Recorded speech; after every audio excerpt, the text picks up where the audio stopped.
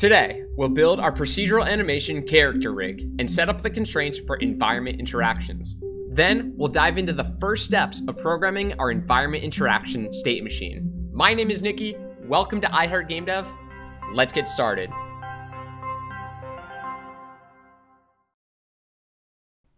The animation rigging package provides a list of roughly a dozen different constraint components that can be applied on a rig. We can combine multiple constraints on each rig in order to get the procedural animation that we are looking for. If you're wondering what a rig even is, be sure to check out my videos covering the subject. But over the next roughly 10 minutes, we'll set up our character and project with the rig constraints needed for procedural environment interactions. In our project, we have a game object titled Rig1. Attached is a rig component. Start by renaming the rig to Environment Interaction Rig. For environment interactions, we want to take control of our character's left and right arms and hands. To accomplish this, we are going to use the two-bone IK constraint. Create two new children, left arm and right arm. Then attach a two-bone IK constraint component to each. IK stands for inverse kinematics, which essentially means that joints are positioned and rotated based on a target position. To set up the two-bone IK, we only need to set the tip property. Lock the inspector, then press on our character's hand bone in the scene view to highlight it in the hierarchy. Drag the hand bone game object to the empty tip property and find the small drop-down menu. When we select the auto setup from tip transform, every property will automatically be assigned. The left hand bone remains set as the tip property, while the mid and root properties are assigned to the left forearm bone and the left arm bone. But now we also have source object properties. Look at our left arm game object in the hierarchy. There are two new children, left arm target and left arm hint. These are set as the source objects. The target is the point where the tip, or in our case, the hand, is going to try to move. And the hint is used to specify the direction the limb should be oriented when it bends. It's worth noting that this automatic setup works as expected with traditional bone layouts, like Banana Man's. One bone for the upper arm, one bone for the forearm, and one for the hand. If it didn't work, you could try setting this up yourself manually. Before we preview the procedural animation, we're going to want to visualize these two source game objects. To do so, select each and in the bottom right of the scene view, press the plus icon to select a mesh. This transparent mesh is only visible in the scene view, but makes working with the source objects so much easier. Repeat the same steps for the right arm game object to set it up for procedural animation. Once complete, we can now activate the procedural animation override by doing one of two things. Entering preview mode in the animation window, or entering play mode. Now we can see that as the rest of the character's body is controlled by its keyframed animations, the hands and arms are being overridden, trying to procedurally place the hands where the target is positioned. As we move the target around, the hand will follow. For the environment interaction rig, we're going to set default positions. We'll want the hint game objects to be placed at about waist level behind the respective arms. This will give the forearm and arm bones the most realistic rotation as the hand repositions itself. As for the default hand positions, we'll place them at about the same level in front of the character. Now, as we increase and decrease the weight of the rig, we can see the procedural animation from the two-bone IK constraint overriding the character. However, if we go through the trouble of programming the movement for the target, we wouldn't get the desired result in the character's current state.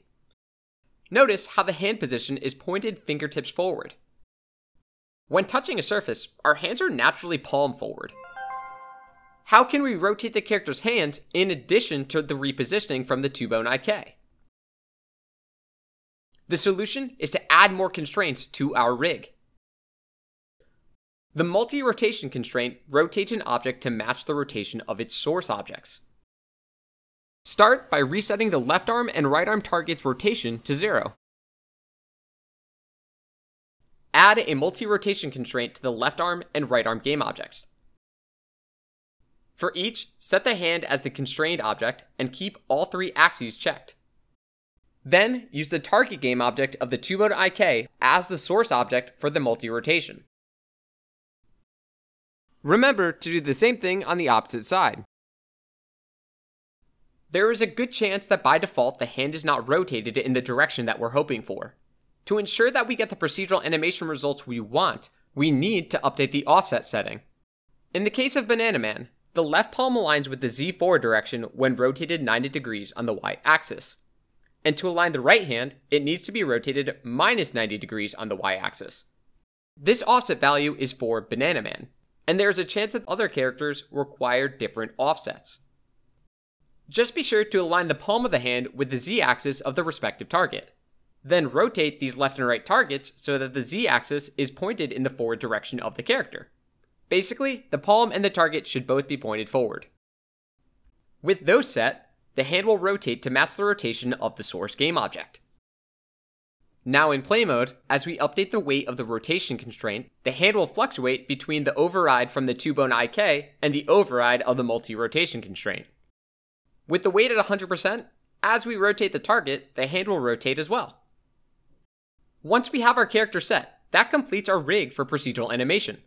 The left and right arms will now follow as we move around the targets, and the hand will rotate to match the target rotation. We are now finally ready to program the procedural animation. Hey, if you've been enjoying this video and want to help the channel grow, consider liking and subscribing, and I hope you enjoy the rest. In our scripts folder of the asset window, we'll see our state machine folder that contains the state manager and base state scripts. If you want to learn about the implementation of these two scripts, check out the previous video in this series, Programming a Better State Machine. Create a new folder in the scripts folder titled Environment Interactions, We'll add eight new scripts in order to implement our environment interaction state machine. Those are named as followed Environment Interaction State Machine, Environment Interaction Context, Environment Interaction State, Approach State, Touch State, Search State, Rise State, and Reset State. Open the Environment Interaction State Machine. The environment interaction state machine class will derive from the state manager class set up earlier. What this means is that the environment interaction state machine inherits the definition set up in the state manager abstract class, which actually includes the monobehavior methods. Notice that state manager requires the generic eState enum type. We can finally implement the enum type that both our state manager and base state expect. Inside the environment interaction state machine class, we'll declare an enum, e environment interaction state. Then we'll list out each of our planned states that will be a part of this state machine. Search, approach, rise, touch, and reset. The E that precedes environment interaction state is standard naming conventions for enums. What this now allows us to do is pass environment interaction state machine .e environment interaction state as the state manager's generic type. Based on the implementations of our state manager and base state, current state and the states dictionary can only consist of classes that derive from base state that use this enum type. And the state keys of each state can now only be set to one of these five enum values. Otherwise, Unity will throw an error. Next, let's provide access to all of the components of our character. To do so, add the animation rigging namespace at the top of the file. Now we have access to types related to animation rigging. Declare serialized fields for our constraint components. Left IK constraint and right IK constraint will both be private and of type 2-bone IK constraint.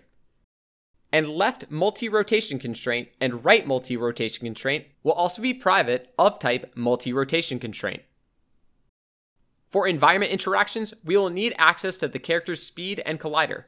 For this project, Banana Man moves using a rigid body and capsule collider. Create two final serialized fields, rigid body of type rigid body and root collider of type capsule collider. Note, if you are using the character controller, that is totally okay. You'll replace any logic surrounding the rigid body and capsule collider with equivalent logic for a character controller. We're really only accessing the speed from the rigid body and the dimensions of the capsule collider, which should translate fairly well. But if you have any questions, leave them in the comments or jump into the channel Discord, and this amazing community can definitely help debug. Back in the Unity editor, let's add the environment interaction state machine script to the environment interaction rig. Going forward, all of our logic will be impossible without these serialized fields being properly set in the inspector. In Unity, we can ensure that property values are set with what's known as an assertion. The assert class offers an array of methods that we can use to validate our code, checking conditions like whether a particular object is null, whether a value is within a certain range, or whether two objects are equal. If these conditions are not met during runtime, Unity will halt execution and display an error message, allowing us to quickly locate and fix any issues. We can access assertions through the namespace unityengine.assertions. Let's create a new method titled validate constraints. We'll use assert is not null method for each of the members variables we just defined. The second argument is the error message that will be thrown so we can add helpful context explaining what went wrong. Now we just need to invoke our validate constraints method. We can do so in the awake method of the environment interaction state machine. We can test this validate constraints method by entering play mode. We'll see that the left bone IK validation currently throws an error, meaning it stops execution of the rest of the script. To fix all the validation errors, we just need to fill the references. Drag the left target and the right target into the appropriate slots. Unity will automatically extract the reference to the attached component. Do the same for the character's root game object to get the references for the rigid body and collider. Entering play mode and errors are gone. And just like that, our character now has its rig set up for environment interactions. All that's missing is a little bit of code. Next time, everything is about programming, as we flesh out the state machine with its context and state implementations. But what did you think of this episode? Did you enjoy learning about the character rig and constraints? And do you have any ideas for what we can do in the future with procedural animation? Leave a comment below letting me know.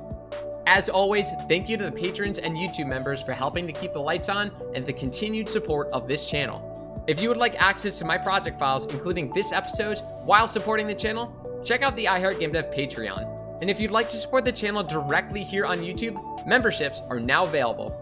And of course, a special shout out to Jupe, TerrorDev, Peter Steiner, Ricky Thonglevong, and Rob Malco for the top tier support.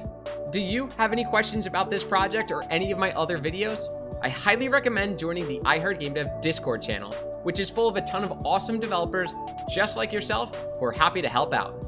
But that is all for today. Thank you so much for watching, and I'll see you in the next episode.